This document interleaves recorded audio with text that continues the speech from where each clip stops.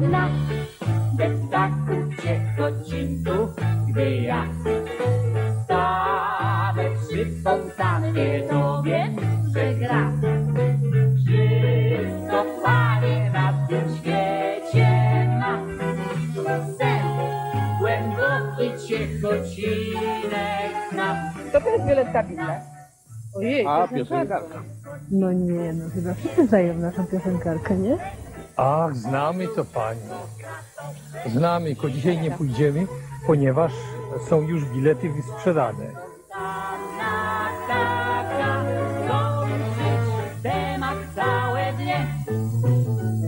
Wiesz, kto to jest Violetta Billa? To jest słynna piosenkarka i wiem.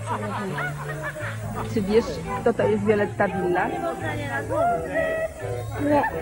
Jest to słynna piosenkarka, często pokazują ją w telewizji. Wiele ma wielbicieli. Jest bardzo słynna. Jest i lepszy. Mówią, że kto patrzy, a nie widzi, ostatniego silny świat. Na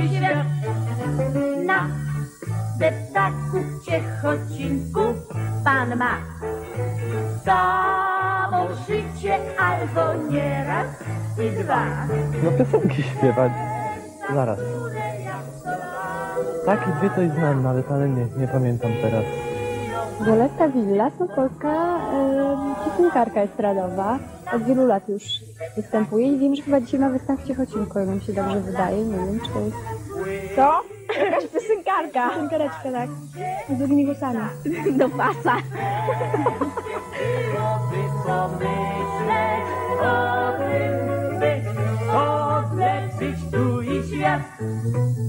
Państwo czekacie na panią Wilas pół godziny. A nie zastanawiacie się nad tym, że tak naprawdę to państwo na nią czekacie dwa lata i pół godziny.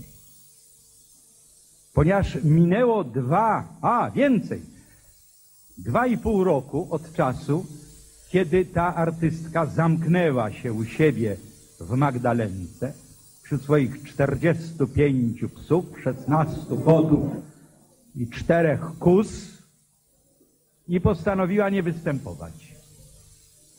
Zresztą rzecz e, zabawna. E, W marcu tego roku miesięcznik Uroda ogłosił wśród swoich czytelniczek i czytelników mm, plebiscyt na e, najwspanialsze Polki roku 1991 czyli roku, w którym poza te kozy, psy i koty, pani Villas o metr się nie wysunęła. I została wybrana jedną z siedmiu najwspanialszych Polek roku 1991, który spędziła w zamknięciu w Magdalence. Jakaż siła mitu, siła legendy, która jest bardziej żywotna niż uczestnictwo kogoś w naszym życiu.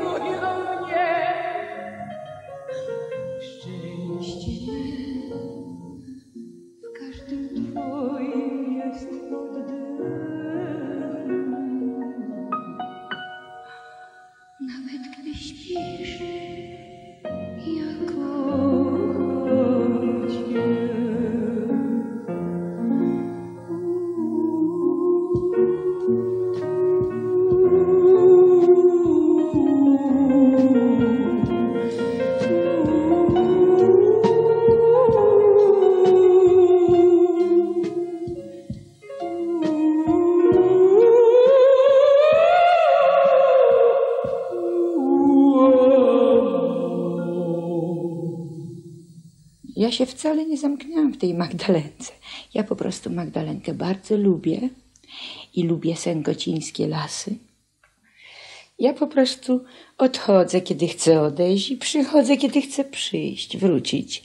Ale nigdy nie mówię, że odchodzę na zawsze. Ja lubię być wolnym ptakiem czy kwiatem, jak, jak chcecie. Po prostu lubię być czasem sama. A są ludzie, co nie lubią samotności, a ja właśnie lubię. Wtedy mogę sobie myśleć o wszystkim, bo myślę, że mądrość przychodzi do człowieka właśnie w samotności.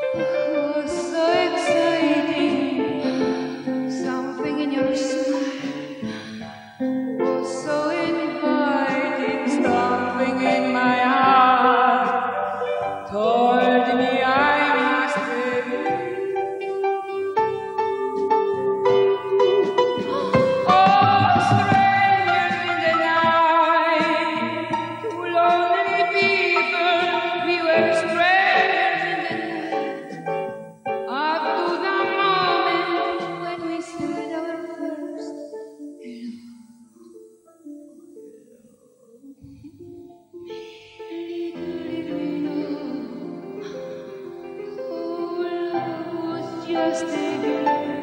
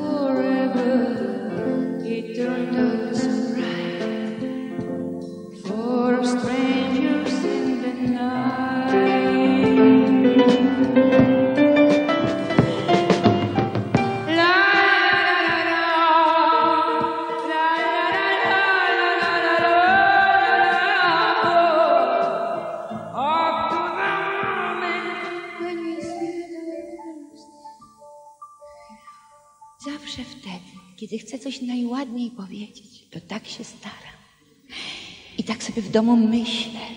I tak układam, jak ja to powiem. I tak, tak, tak, tak. A jak przyjdzie do powiedzenia, pomylę się. I nie powie mi się tak, a potem mówią, widzicie ją, Amerykanka, zapomniała po polsku.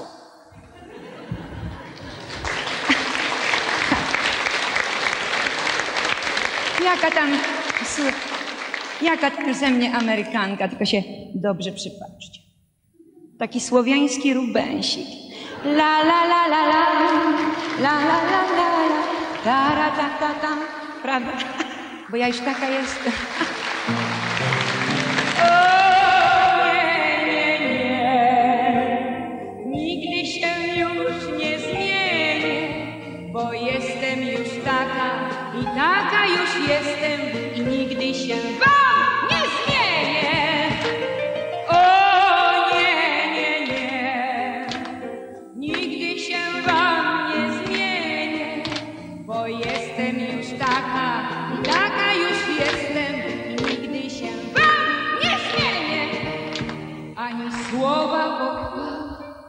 Ani słowa zachęty, nic tylko krytyka, krytyka. To włosy za długie, a rozum za krótki i stale jej coś brakuje. Ja jestem już taka, bo taka już byłam i nigdy się wam nie zmienię. Zrobiłam, co mogłam, byłam gruba, więc chudłam, nie jadłam, nie spałam, tylko ciągle myślałam, jakby się jeszcze odmienić. Wszystko jest źle, to wszystko, co ja zrobię, jak chodzę, jak mówię, jak śpiewam, z kim śpię, no i to, co mam na głowie. To ja, nic na to nie poradzę, bo jestem już taka i taka już jestem i nigdy się wam nie zmienię.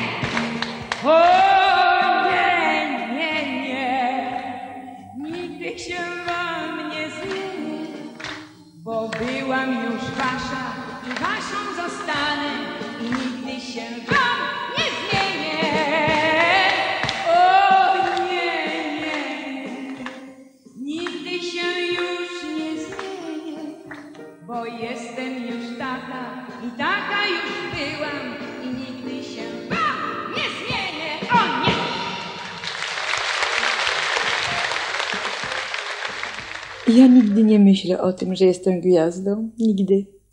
To nie ja się tak nazywam, to ludzie mnie nazywają. Czasem z tego się śmieję, a czasem nawet się zastanawiam nad tym słowem, ale zawsze kwituje to czymś takim bardzo skromnym, że to jest niemożliwe. Jestem zwykłym człowiekiem, który chodzi po ziemi. Moim jedynym kosmetykiem to jest właściwie woda i mydło i kozie mleko.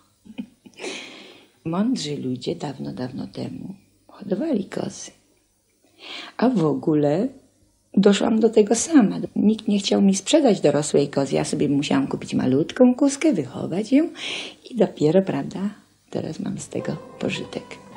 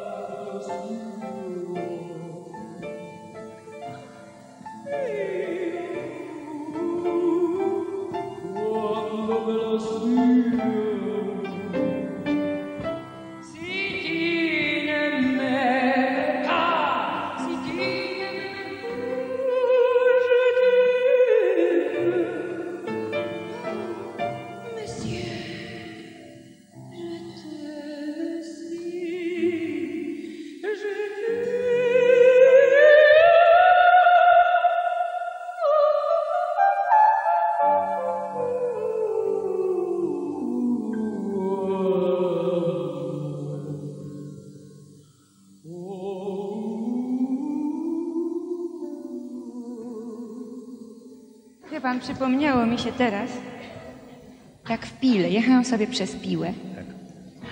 Nie piła, tylko piła, miasto. Miasto piła. Nie piła do rżnięcia drzewa. Nie, Piła, ta mała piła jest wstawiona. piła miasto.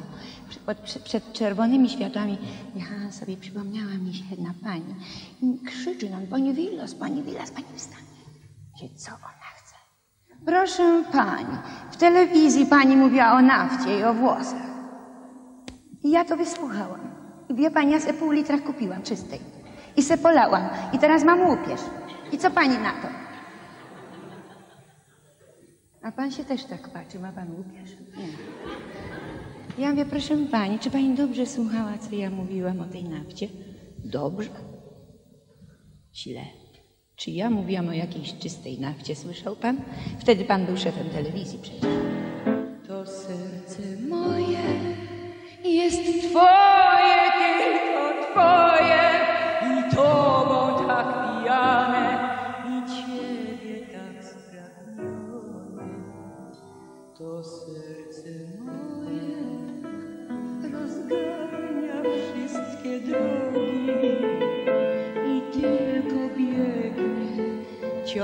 biegnie do twych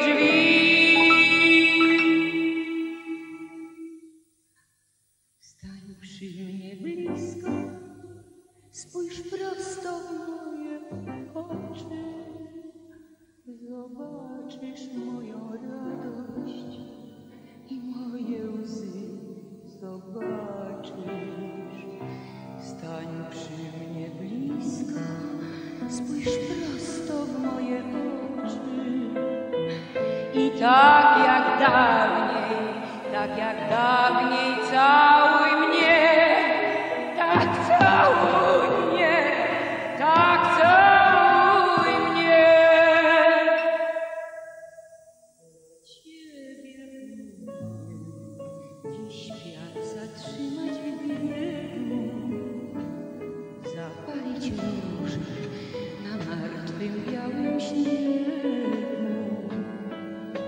Dla Ciebie będę zawsze śpiewać o miłości, o miłości zrodzonej z ognia.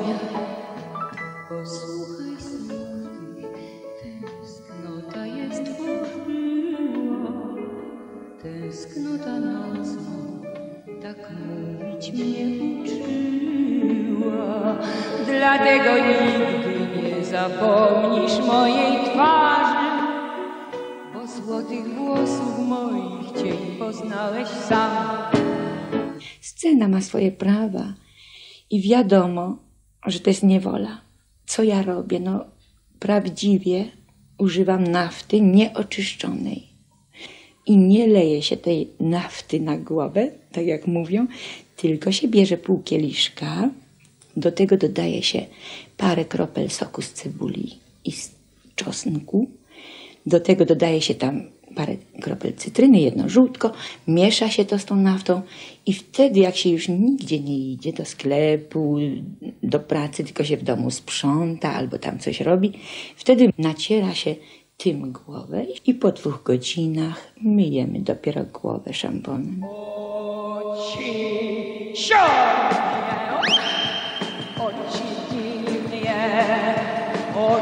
That's.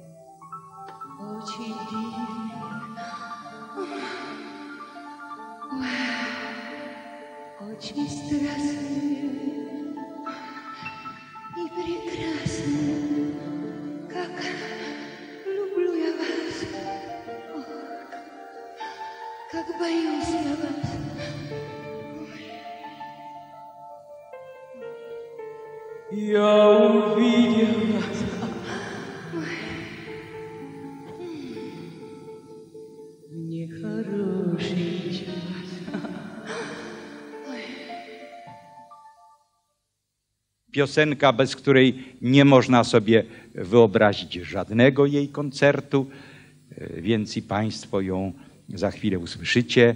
List do matki.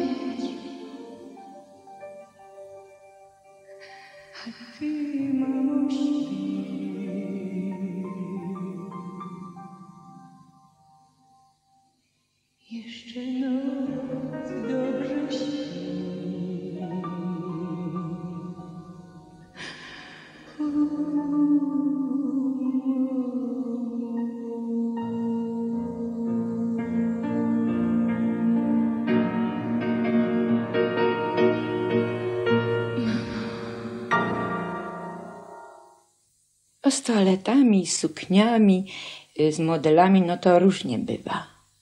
Przeważnie ja sama sobie projektuję suknię. Zależy do jakiej piosenki. I tak jak do piosenki Do Ciebie Mamo, to sobie właśnie wymyśliłam tą czarną sukienkę z białym kołnierzykiem, bo uważam, że to jest skromna, powinna być bez żadnych brylantów.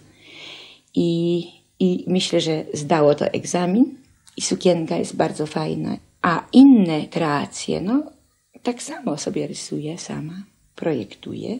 I potem moja krawcowa pani y, Kazimiera Przybylska, która jest moją garderobianą, po szkole krawieckiej specjalnej, szyje mi to. z wielką cierpliwością i myślę, że jeszcze dużo sukienek mi uszyję. Jeśli chodzi o kolory, no to bardzo i najbardziej lubię szafir. Ale taki piękny szafir. I czerwień. Kolor czerwonego wina.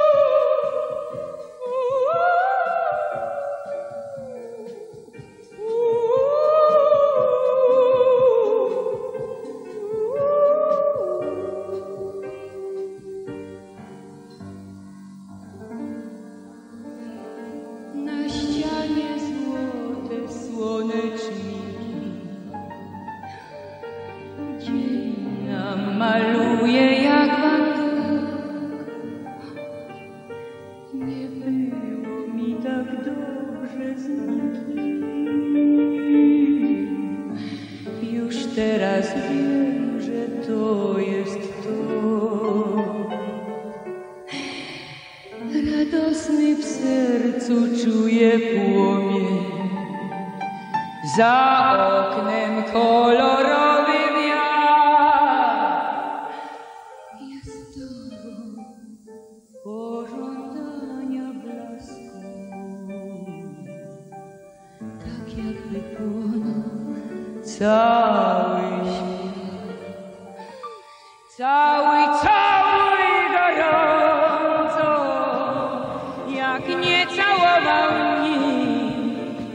Cały, cały jak ogień, tylko moim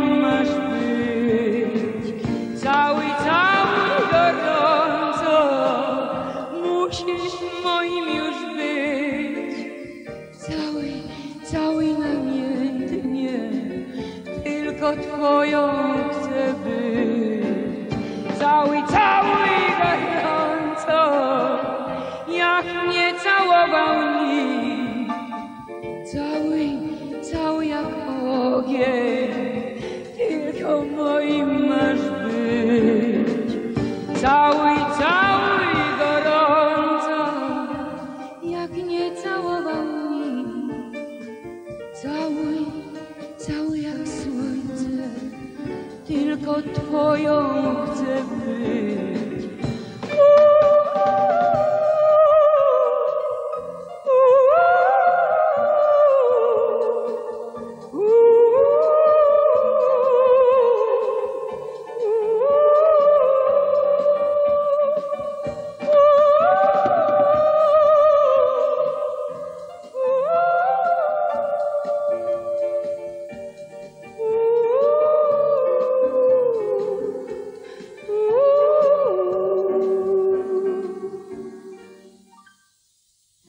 Pali pan te papierochy.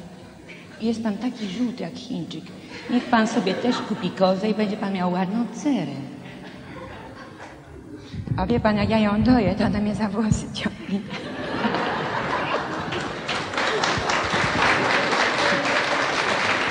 A kozi... po kozim mleku się wygląda młodziutko. I też pan, proszę pana, będzie wyglądał na 30 lat. I też panu. No, będzie pan wyglądał młodziej. Bo nie mogę powiedzieć inaczej. No.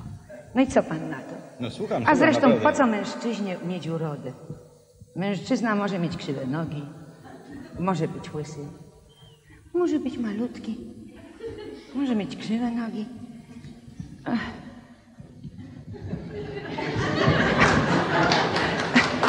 Się pan tak patrzy? Nie, słucham wszystkiego. Myślę, że malutki to nie o mnie, to jedno przynajmniej. Ale krzywe nogi pan ma chyba. Nie ma. Od tyłu ma pan. Niech pan się odwróci. Krzywe ma pan nogi. Albo pan już pan tak przytuł, dlatego pan tą marynarę taką luźną wziął. Hmm. A w ogóle, to pamiętajcie, że mam 30 lat I pani stanęło, tak i stanęło. I koniec. I panu życzę tego samego.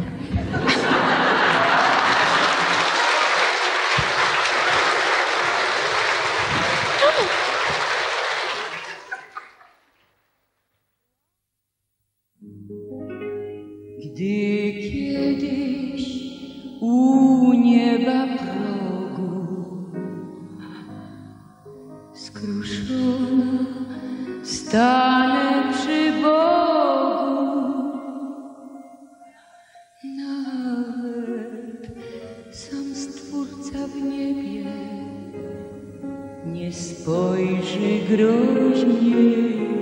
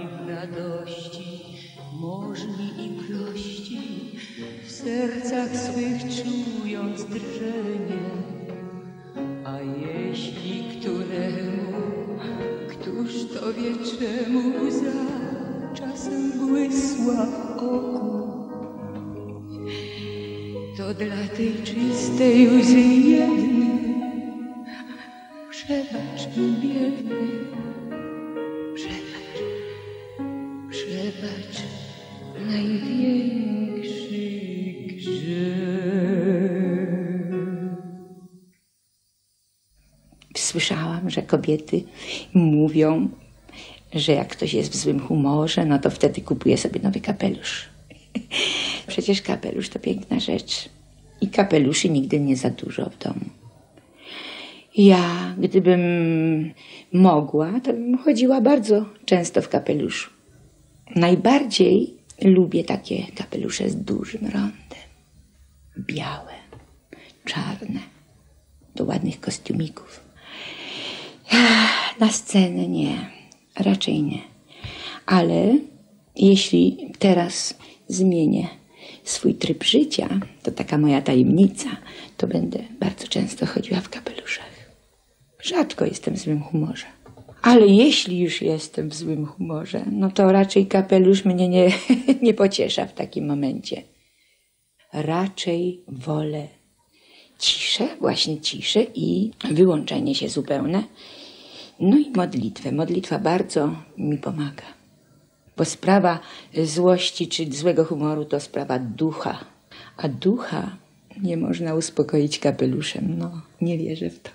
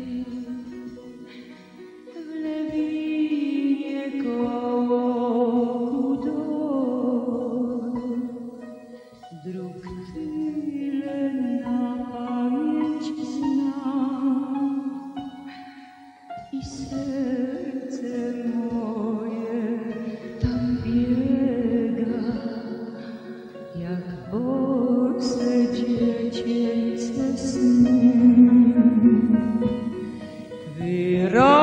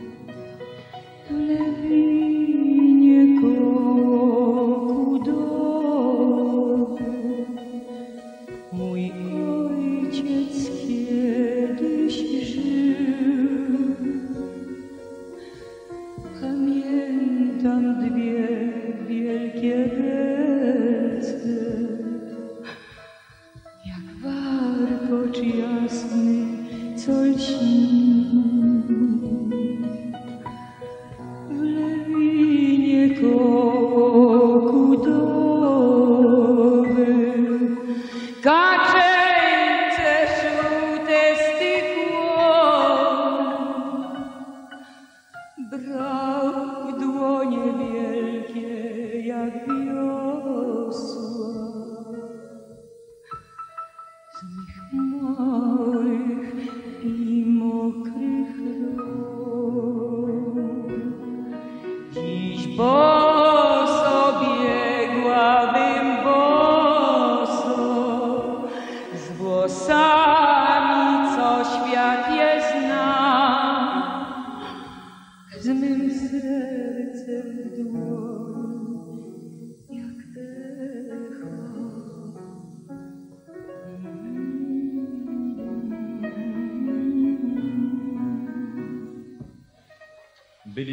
jakiś czas temu w Bydgoszczy. Każdy taki koncert jest zupełnie zresztą inny. I ja tam zrobiłem wśród publiczności taki konkurs na fraszkę o Violetcie Villas. I na całe szczęście zanotowałem sobie kilka z tych fraszek i po prostu Państwu odczytam tak. Chcę zaśpiewać jak Violeta, ale słychać, że to nie ta. E, A to nawet ja to napisałem. O Violetto, nim mnie schrupiesz, wiedz, że obcy jest mi łupiesz. I taki poemacik. Jej głos to złota moneta, przyzna to każdy esteta.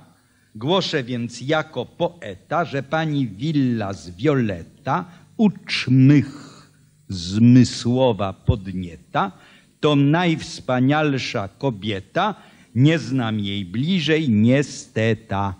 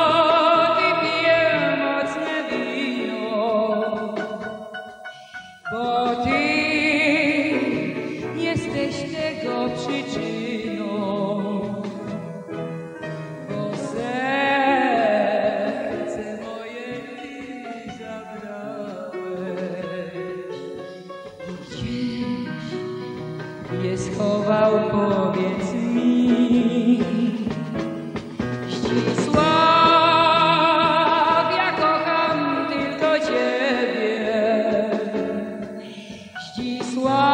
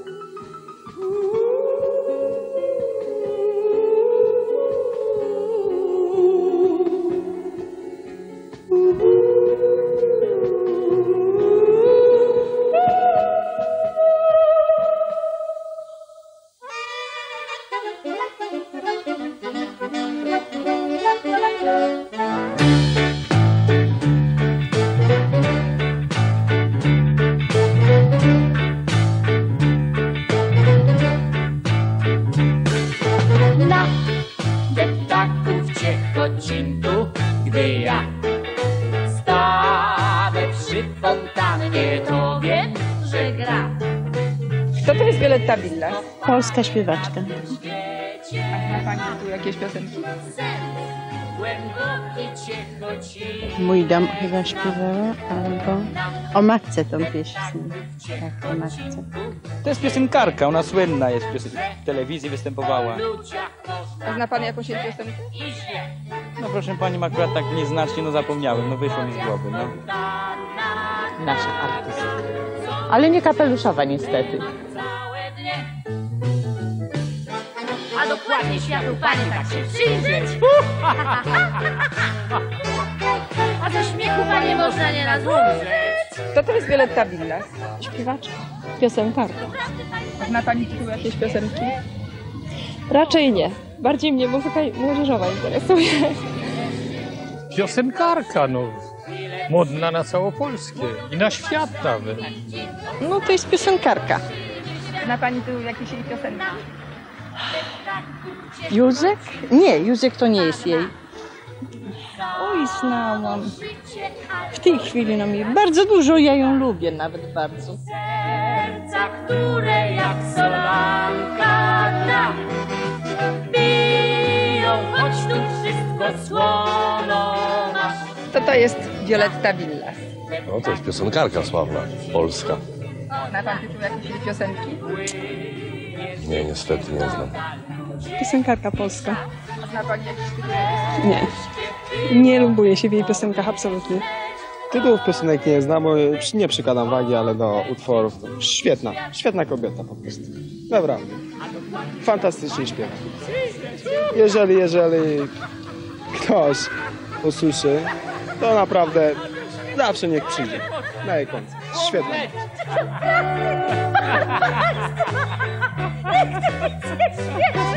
Mówią, że kto śmieje się, nie grzeczy. I lepszy. Mówią, że kto patrzy, a nie widzi, to z takiego szydzi świata. O, ha,